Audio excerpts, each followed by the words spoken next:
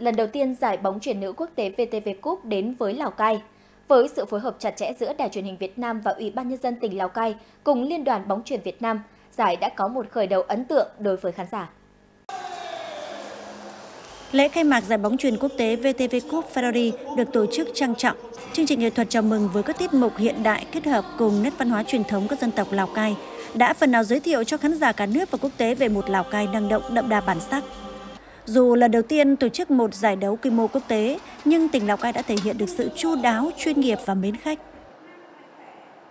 Là không khí ở ngoài nhà thi đấu à, rất đông cổ động viên của người Lào Cai, của các tỉnh bạn đã đến để cổ vũ cho các đội bóng. Đến thời điểm này thì công tác phối hợp giữa tỉnh Lào Cai với đài phát thanh à, đài truyền hình Việt Nam và Liên đoàn bóng truyền Việt Nam thì đã rất là tốt và chúng tôi thấy rằng là bây giờ cho đến cuối giải công tác phối hợp sẽ được tăng cường để các trận đấu sẽ được tổ chức diễn ra và người hâm mộ của Lào Cai thì sẽ được à, tới nhà thi đấu để thưởng thức các trận đấu hay. 6 đội tuyển tham gia giải năm nay là đội tuyển Australia, Đại học Kansai Nhật Bản, Suwon Hàn Quốc, câu lạc bộ Chocomucho Philippines và đội tuyển Việt Nam 1, Việt Nam 2 đã lần lượt thi đấu các trận đầu tiên. Chuyên môn cao, thi đấu quyết liệt nhưng không thiếu đi sự mềm mại của các nữ tuyển thủ. Qua mỗi trận đấu, các cầu thủ phô diễn tài năng, kỹ thuật mang đến cho khán giả những trận đấu đỉnh cao.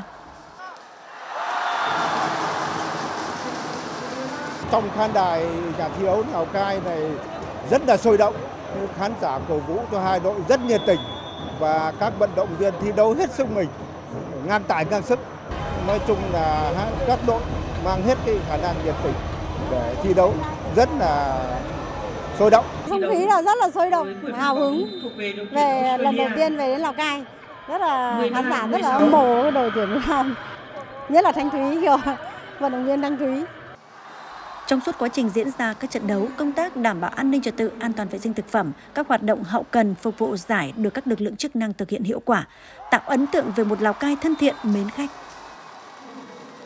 thì đối với lượng tôi cũng đã tập trung rất cao độ cho các cái công tác chuẩn bị bến bãi, chuẩn bị con người, chuẩn bị vật tư thiết bị cho công tác ờ, trông giữ xe trong quá trình ờ, thực hiện nhiệm vụ thì nó cũng không phải không có những khó khăn. Song đối với ờ, tinh thần là quyết tâm làm sao đảm bảo nhất cho cái an toàn về con người, về trật tự, về phương tiện trong cái giải VTV Cup này là an toàn tuyệt đối. Sức nóng Sắc màu của giải bóng chuyền nữ quốc tế VTV Cup 2023 đã thực sự lan tỏa khắp mọi nơi. Bằng tình yêu thể thao, mỗi người hâm mộ, mỗi thành viên ban tổ chức, tổ giúp việc đã cùng kiến tạo nên những ngày đáng nhớ trong không khí cuồng nhiệt của giải thể thao quốc tế lần đầu tiên được tổ chức tại Lào Cai.